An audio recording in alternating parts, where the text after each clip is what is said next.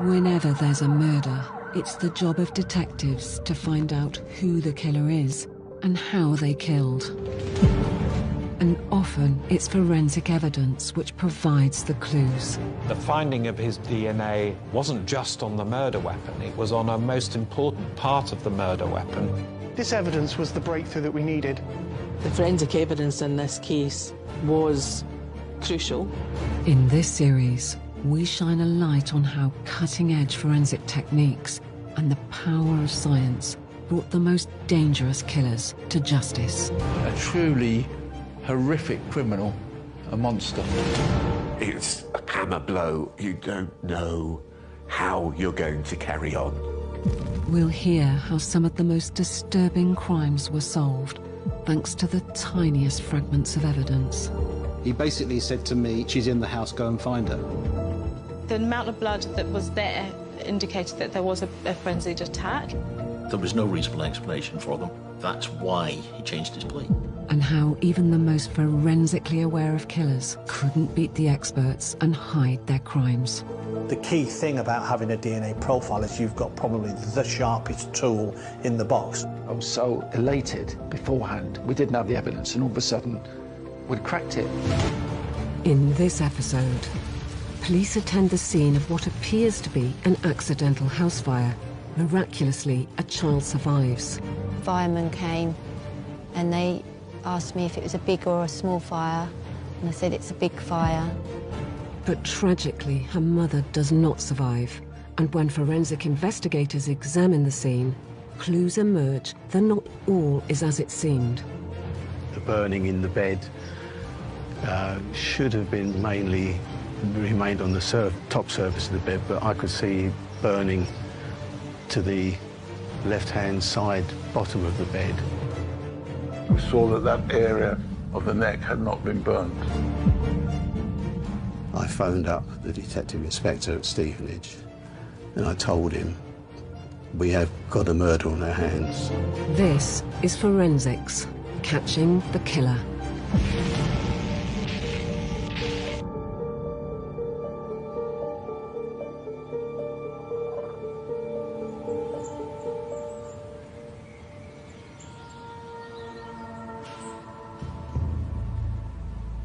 Tuesday, 4th of March, 1980.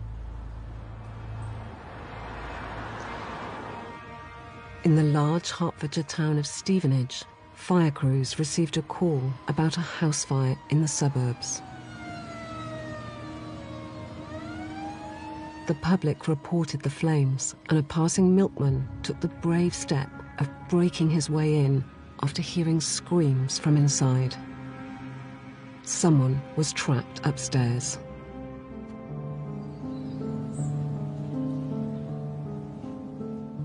There was a fire at the end of the bed, and I was in the bed with my mum, and I was just felt paralysed and in shock, and really wanted my mum to move and do something, but she wasn't moving.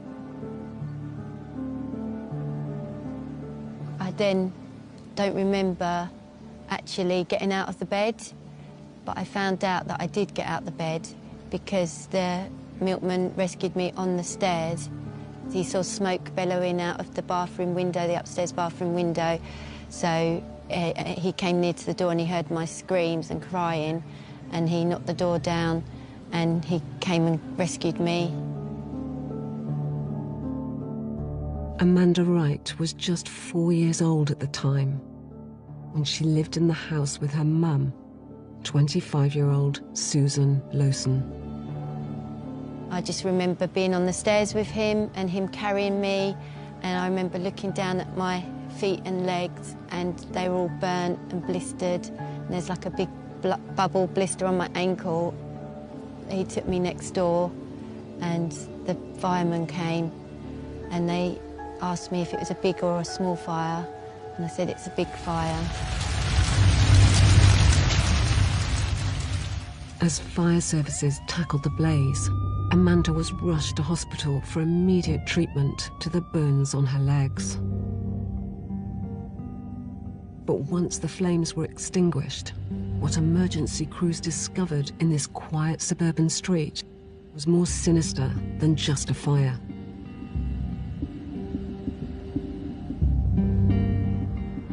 Time, it was uh, mainly sort of uh, council properties, completely residential, and uh, it was a, not a bad area at all. It was uh, actually pretty much as you see it now. Peter Harper was a young detective constable at the time. He was about to make a shocking discovery. What I found was uh, the house had been not seriously damaged uh, or internally, but the bedroom, the top floor rear bedroom was in actual fact pretty uh, badly burnt. And I found that there was a body of a woman uh, actually lying in the bed, obviously dead. As Peter began to make an initial assessment of the room, some aspects of it didn't make sense may have been caused by smoking in bed, but there was a few issues that uh, I didn't particularly like, which sort of uh, triggered me a little bit.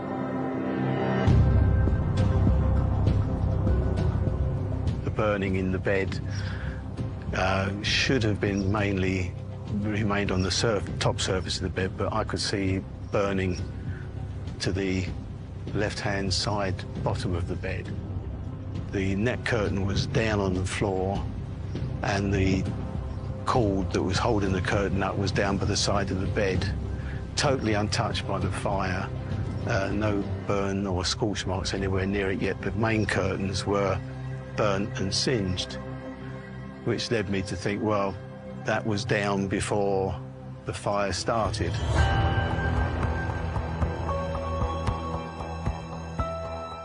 But not everyone involved agreed with the detective constable. They actually did call out a forensic scientist who did an examination of the fire and he didn't agree with my interpretation, but he's the expert, and so they went with that, that the fire started on the top of the bed and not under the bed.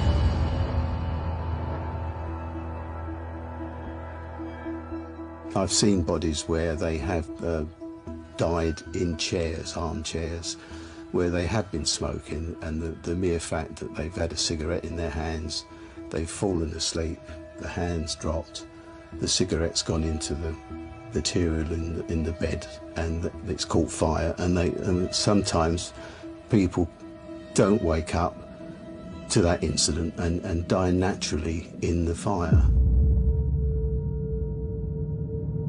Back in 1980, we didn't have combustion modified furniture, which is what we have today. Everybody's sofa has a little label on it that says it's cigarette and match resistant. The reason we have these, these labels is because back in the 1980s, we were having significant problems where people were dropping matches and cigarettes on sofas or in rubbish bins and that sort of thing, and they were catching their sofas alight. Since then, we have combustion modified furniture, so it changes the way fires burn. So back in 1980, fires would develop very quickly. You could easily get to um, flashover, which is where the entire room is on fire. You could get to that stage within a matter of a few minutes. There are certainly tests that have been done with furniture from the 1980s that flashover happens in around four minutes.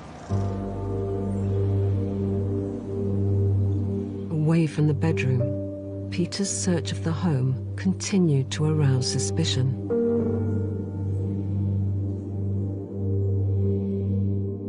Went downstairs into the sort of the lounge area. There was two cups and two plates, um, which obviously had been used prior to the fire, and it struck me that it was two plates and cups that had been used by adults rather than a, a mother and child. there wasn't the right crockery for a four-year-old to be you know, drinking or eating out of. That didn't ring right to me, so I preserved that scene um, as a separate scene and preserved those items.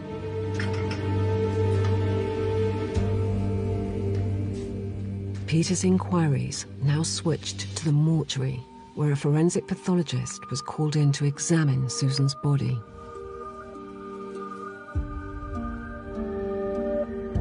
Initially, when when we thought about it, could have been an, uh, an intentional ploy to actually burn her on that part of the body to start with. Because one of the interesting things was when we moved her neck up away from her chest because because the head had contracted down to her chest. We moved it up, we saw that that area of the neck had not been burned. And it was within that area that we found signs of uh, strangulation. I realised then, obviously, my suspicions were, were correct. I phoned up the detective inspector at Stevenage and I told him, we have got a murder on our hands.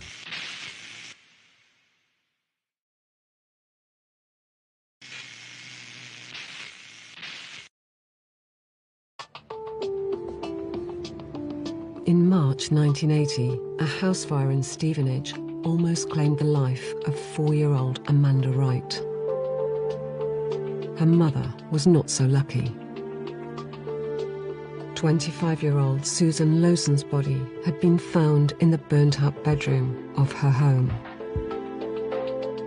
But a post-mortem examination revealed strangulation, not fire, as the cause of her death. News of the murder quickly spread.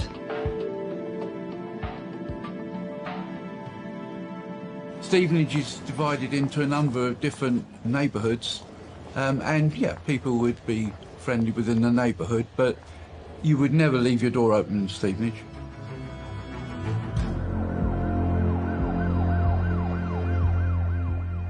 Brian Todd was a detective sergeant at the time. It was a, a lot of youngsters in the town. We had a, a bit of a drugs problem, like most towns. There was a, a number of burglaries to deal with. Wherever you've got drug offences, you've got burglaries and thefts and shoplifting for people to finance their, their drug addiction. But um, it was a normal town, nothing out of the ordinary.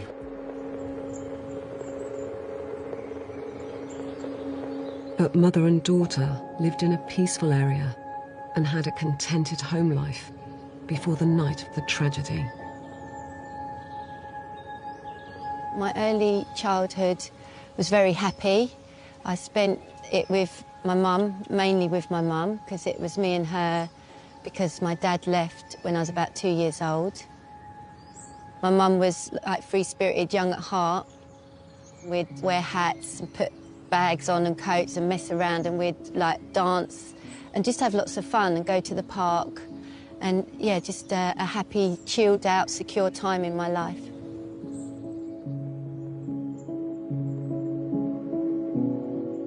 Course, Amanda was very young, so Susan couldn't work. I believe she had uh, lodgers to pay the bills, so that helped her to get by. Katie Weitz was an author who would later go on to write a book about Amanda and her mother, Susan. She'd gone through a sad period. She'd married David Lowson when she was pregnant with Amanda. And unfortunately, the relationship hadn't worked out, which was a source of sadness for her. But she was very happy to be a mother, and according to Amanda, she was very devoted and very loving. She used to take her out all the time to a place called the Lakes in Stevenage, where they used to play in the playground, and she was always, you know, very devoted. She wouldn't let Amanda out of her sight. And she lived on her own, so she was quite independent, although she had her parents round the corner from her and she saw them off. And apart from that, she didn't go out much. She was a stay-at-home mum.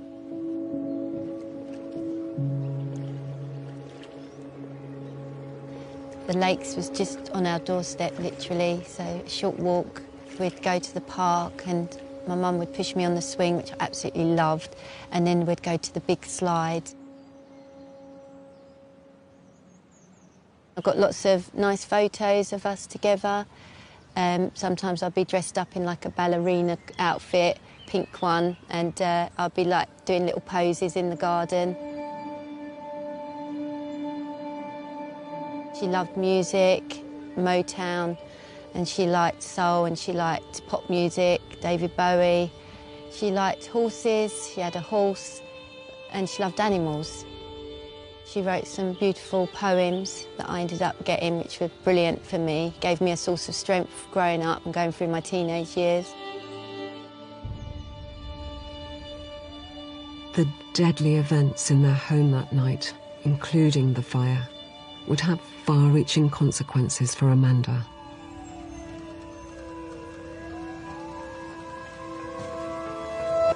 She had quite serious burns on her lower legs, and back then in 1980, skin grafts were still a relatively new procedure, and a specialist surgeon was brought in from London to complete the operations.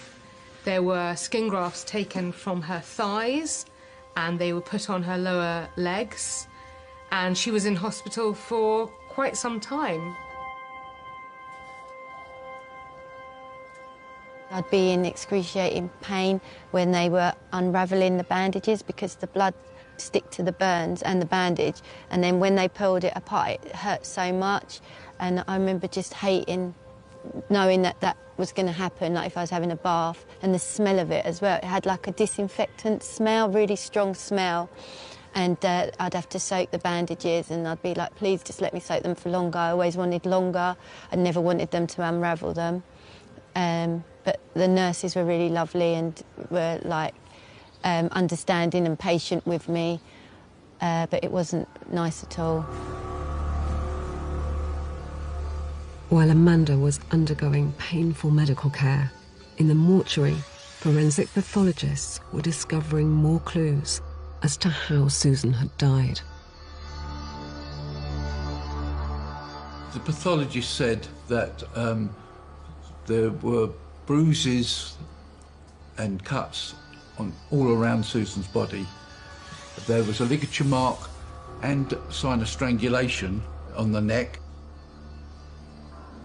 And clearly, whoever did this was also um, punching and hitting Susan, consistent with the injuries over her chest and face.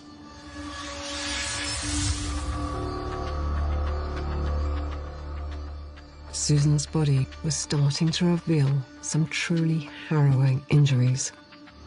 But the attending pathologist, Peter Vanezis, had to find hard evidence of exactly what killed the young mother.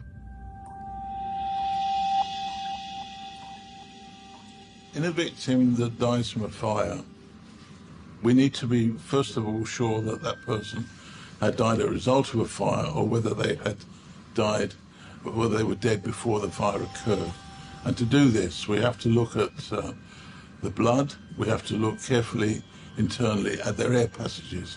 If, for example, they've, they've inhaled smoke from the fire, they will have soot within their airways, and their airways will appear black. And also in the blood, they would have uh, inhaled the products of combustion in a fire, which would be carbon monoxide. But in addition to that, we also look for small spots in the eyes and face. In this case, we couldn't see anything in the face because it was burnt. But in the eyes, when we, lifted up the eyelids underneath, the whites of the eyes, we could see, uh, or the small areas around the whites of the eyes, small red spots. These are known as petechiae, and these are very common findings in strangulation.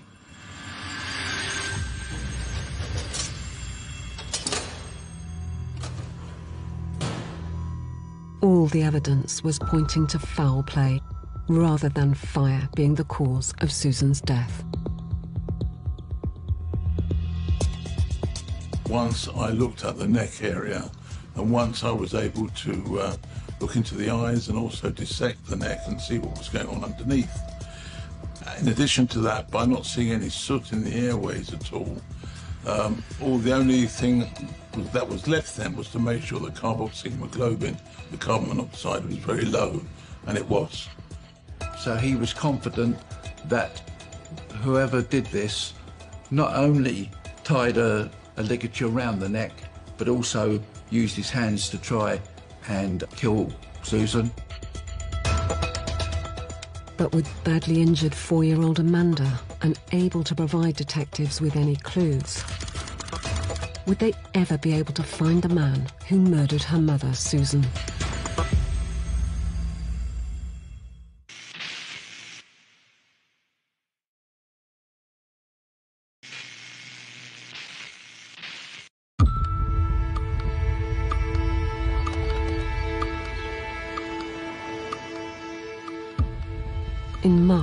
1980, four-year-old Amanda Wright was miraculously rescued from a house fire in Stevenage.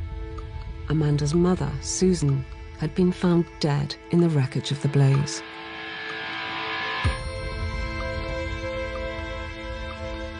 But as investigators had discovered, she had actually been strangled before the property was set alight.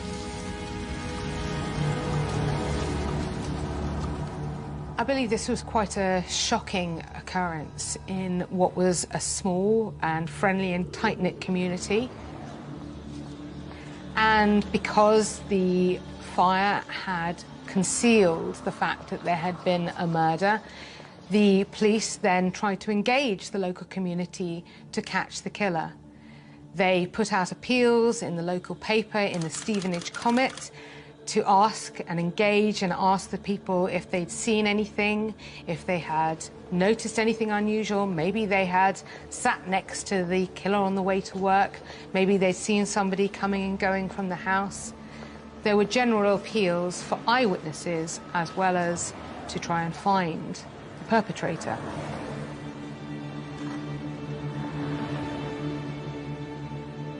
A man had been seen running away by the milkman um, who was able to give a description. And over the next 48 hours, Amanda was able to tell us that she'd seen the man there, um, that he had uh, been shouting at her and had run off.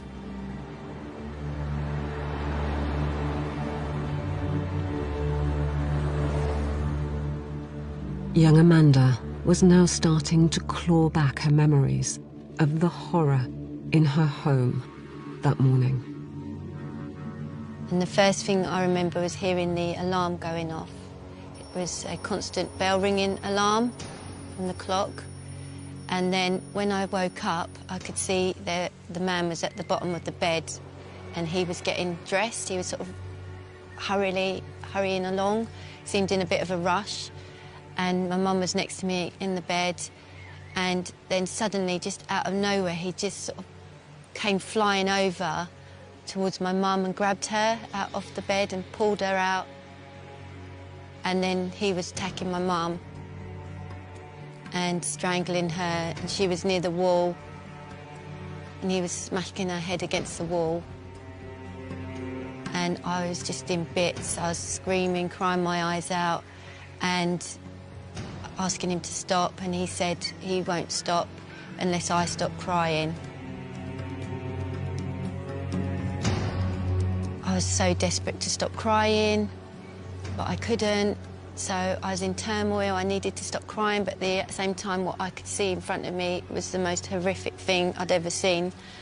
And then after a while, he then stopped attacking her, but my mum was like this side of the room, and then she, they sort of travelled over to this side of the room, near to where I was on the bed, and then he just grabbed me and got a pillow and pushed it over my face, and I just remember feeling his hands on my neck, and then I knew uh, like I couldn't breathe, uh, and then after a while I just wanted it all to be over with.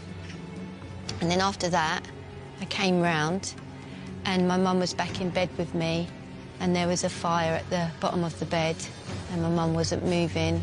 She wasn't opening her eyes.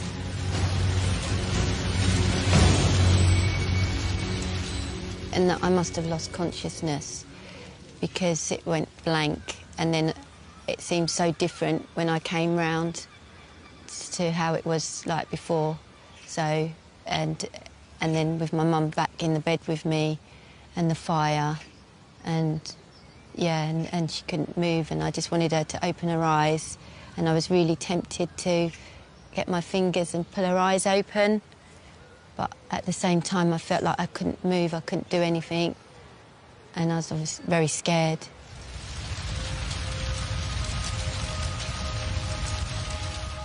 I can't even begin to imagine the terror that she must have felt in that moment, knowing that the person who had cared for and looked after and loved her her whole life was now gone. And in fact, in her four year old mind, I don't think it really computed. I think she felt that if she could just wake her mother up, it would all be all right. But the fire, of course, just got bigger and it was climbing higher and filling up the room. And I think the next thing that she recalls is being taken out of the house by a man and taken round to her neighbour's house where she was put on a sofa, telling that man, My mummy's still inside, my mummy's still in the house. In the days that followed, forensic investigators at the crime scene were struggling to find any evidence that could identify Susan's killer.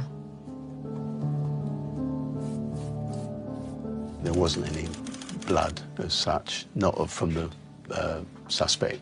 You, you were very restricted in what you could find in those days. There was obviously you could find fibre evidence, things like that, but when it's gone up in smoke and flames, in, in that side of it goes out the window. But there was one tiny shred of forensic evidence they did find, and it was one of the oldest and most trusted sciences in police forensics. There is a procedure for getting fingerprints from items within fire scenes. Now, everybody has seen the use of what we call a, a, a squirrel brush with powder on it in order to, to expose fingerprints. In fire scenes, you can still use that same technique if it's something that is away from the area of burning.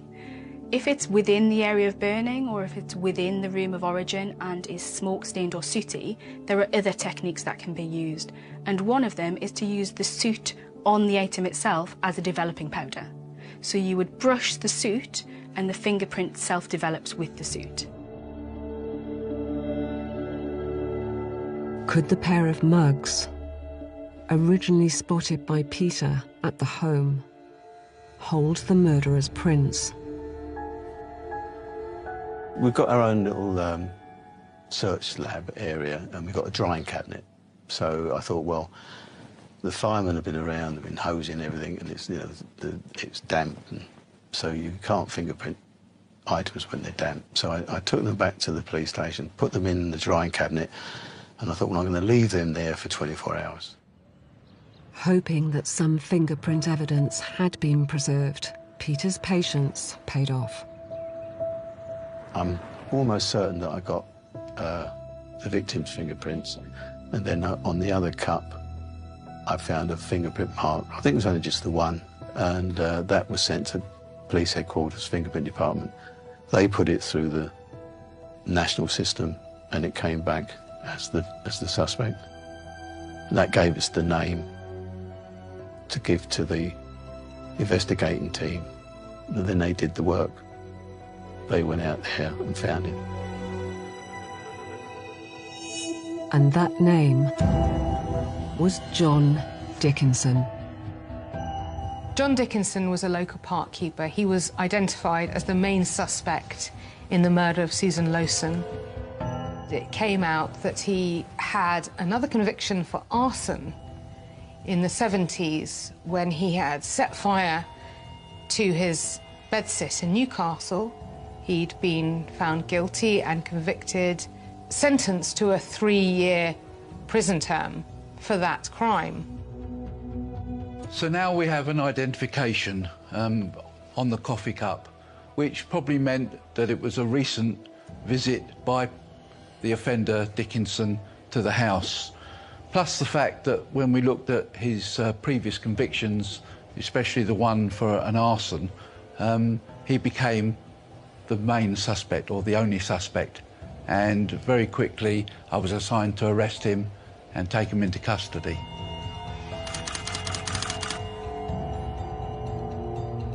Uh, along with the detective constable, I went to the um, address where he was living, um, arrested him for murder. Um, he he was quite aggressive, um, as was his wife, um, but we took him to Stevenage Police Station. We knew him locally to be a burglar. Um, he had a previous for violence, so we knew enough about him to think that this is our man.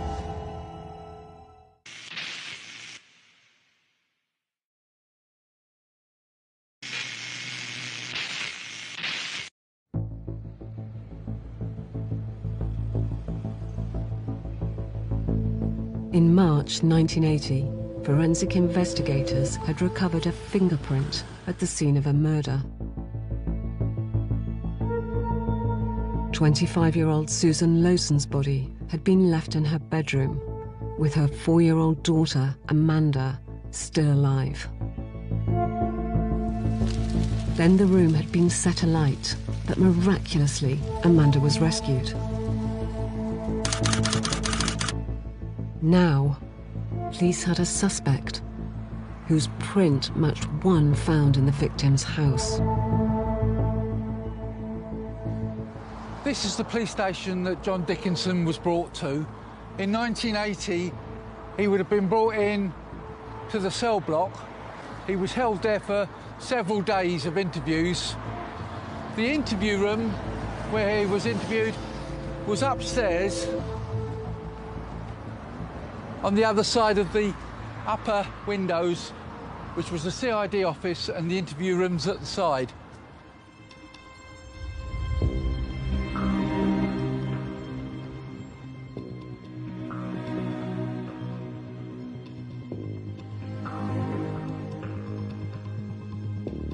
He did four interviews. The first one, he denied he'd ever been to 13 Colestrete Close um, and that he didn't know, other than a very brief meeting two years before, he didn't know Susan Nelson.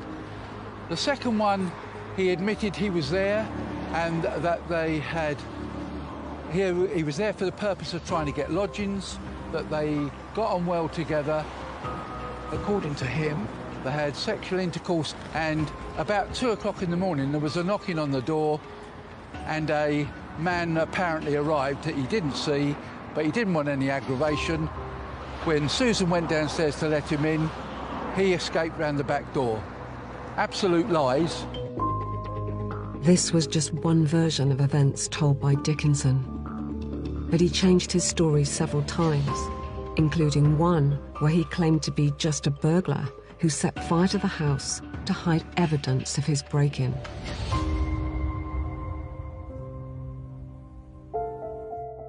With his fingerprint placing him at Susan's home and the clear forensic evidence of her being strangled. Dickinson was charged by police. He was brought to trial quite quickly in September 1980 in St Albans Crown Court, where he pled not guilty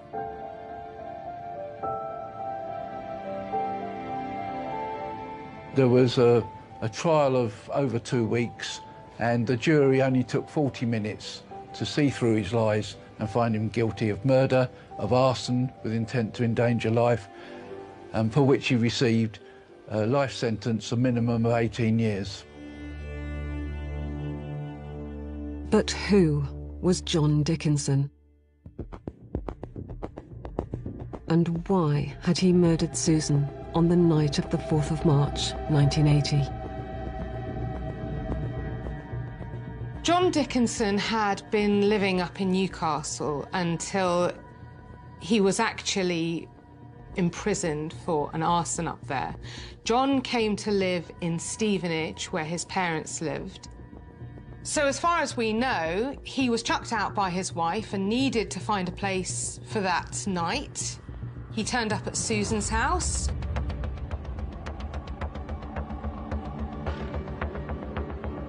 Susan and uh, Dickinson only met each other once previously, which was two years prior to the offence when um, Dickinson had been at a house when Susan visited someone else. He may have waved at her in the street a couple of times when, when he saw her, but he became aware through other friends that Susan was looking for a lodger, although Susan made it clear, according to him, on the evening that she only usually took ladies in, not men.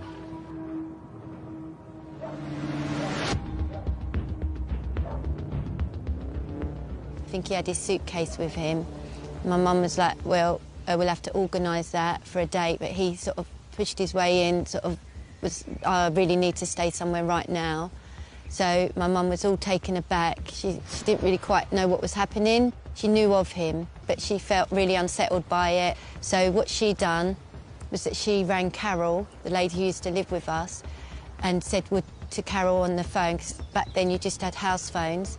She said, would she come round uh, because this guy's turned up who needs lodgings. I, you know, I'm feeling a bit uncomfortable. But Carol said, unfortunately, I'm going out tonight, but I'll definitely come tomorrow. So my mum sort of went, oh, OK then. So that's, that's how he gained entry into the house. She had in fact let in a man with monstrous intentions. He would not only take her life, but also destroy everything which her daughter loved. For Amanda, life would never be the same again. She'd lost her mother, she'd lost her home, and even though she was now going to live with her father, it was not the same loving relationship that she'd enjoyed with her mother.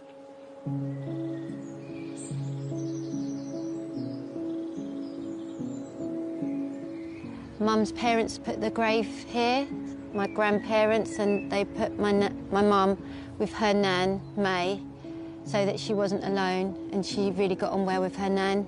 They had a close relationship, so that's why my grandparents wanted her here.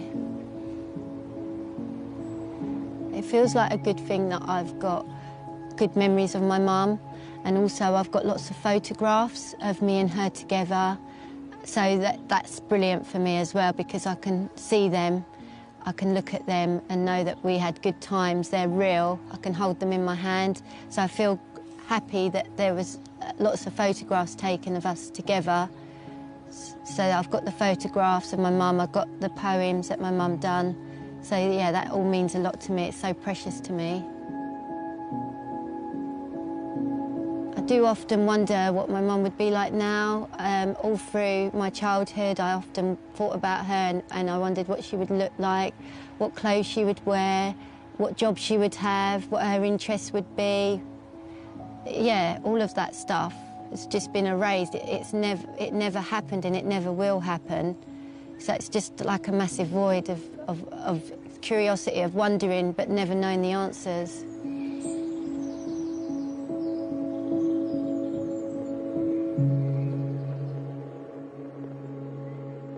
John Dickinson spent 34 years in prison for the murder of Amanda's mother.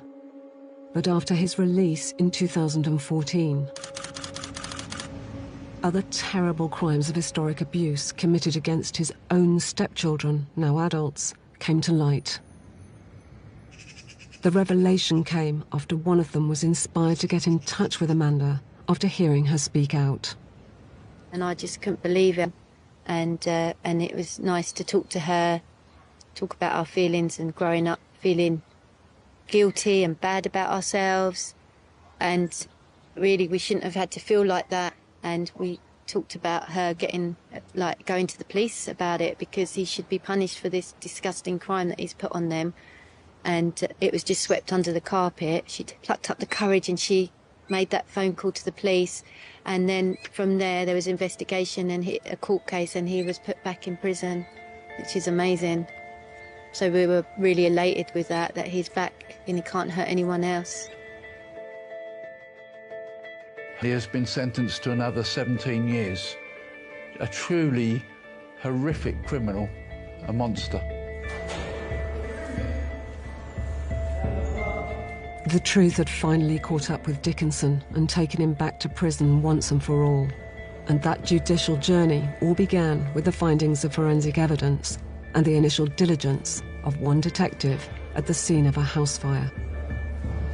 I think what what stands out for me in this particular case is the fact that um, uh, when you go to a scene where it might look like it's fairly straightforward from the point of view of a house fire. For example, the police could easily have thought that she may have dropped a cigarette near the bed, which then set a light. Um, but all credit to them, we kept an open mind. It was the fingerprint evidence that pointed the way to the, the, the inquiry that took place afterwards and uh, the successful conviction. So, yeah, the forensic evidence was the fingerprint evidence. It worked. Dickinson is known to have hurt three children in different yet equally horrific ways. All are survivors, none more so than the little girl he left alone to die in the fire which he started. I think the worst thing for me uh, was the fact that it wasn't actually the, the murder of the victim, which is horrendous in itself, but it was the fact that someone could lock a four-year-old child in a bedroom and leave her there to burn to death. That, that is the thing that really um, is horrendous. No, I, I can't even explain the feeling about it. It's just horrible. The man who killed my mum left me a terrified child. I was so scared of him. I knew him as the bad man. And uh, for a very, very long time, I just feared him as this big monster that could hurt me. Even today, I still have anxiety, so it's still it's still with me today. And the sadness of not having my mum, and the longing to have my mum will never leave. It never leaves that mother-daughter relationship. It's it's always there. And if I go through really tough times, I always want my mum.